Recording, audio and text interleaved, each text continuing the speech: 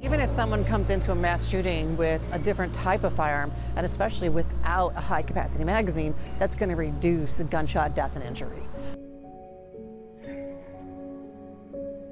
I don't like to use that phrase, but this time, when they say they're coming to get your guns, this would actually be coming to get your guns.